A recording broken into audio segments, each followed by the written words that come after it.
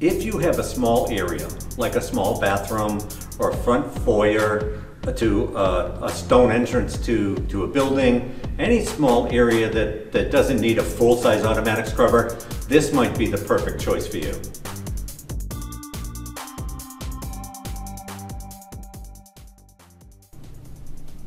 Hi, today we're going to talk about um, upright automatic floor scrubbers. These three machines may look like an upright vacuum cleaner, but they're actually an automatic floor scrubber. Um, these machines have a tank assembly, and you have a clean water tank and a dirty water tank on this machine right here. And underneath the machine, you have squeegee blades and a brush. So the machine is going to put down clear water, it's going to scrub the floor, it's going to vacuum the floor dry in one pass.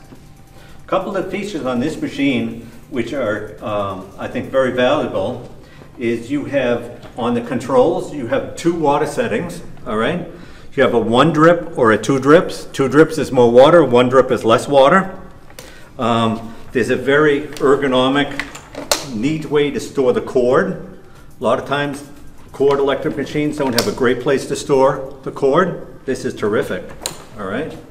In addition, if you look down on this side of the machine here, we have a, a lever. When I put this lever, what it does is it picks up the squeegee blades, all right?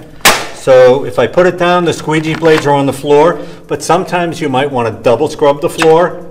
In that case, you would just pick up the bristle, pick up the squeegees and scrub the floor.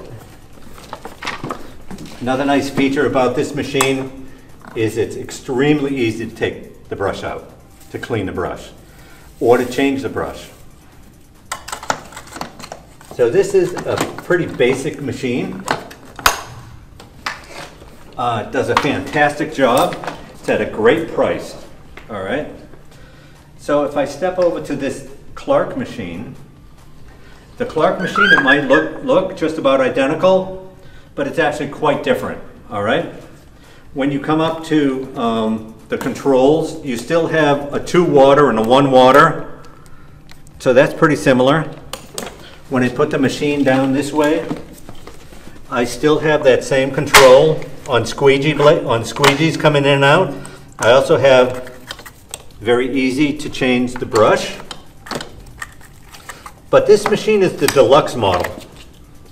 And what the deluxe model comes with, it comes actually with um, a hose. So if I just change this right here, now it's sucking water through this hose. So if you have a small flood or you're cleaning the floor and you need to get the edges, this tool is very, very useful. All right.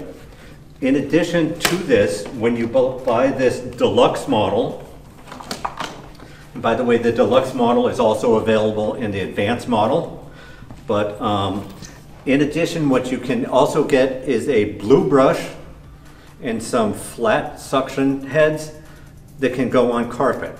So this machine can actually do some light spotting on carpets or in the wintertime or after a rainstorm when you have mat that's soaking wet by a front door. This is the perfect machine to take out there to clean that up. This will clean um, and suck water off of carpets. Most automatic scrubbers can't go on carpets. The third machine I'm going to show you is um, a TASKI machine called the Swingo 150. And this has some very similar features. Um, have a master switch to turn it on and off. And then up under the handle, right when my finger's pointing, is where you turn on the vacuum motor and turn on the water. There's only one water setting on this machine, and as you're running the machine, you can see that those switches are right at your thumb tip. So that's a very handy feature. The other feature for this machine is that it has an adjustable height on the machine. The other two machines don't. These machines just float on the floor. This one you have to adjust the height based on um, the texture of the floor. And if you have too much pressure on this machine, this red light will come on and indicate to you um, that that needs, that you need to reduce the pressure.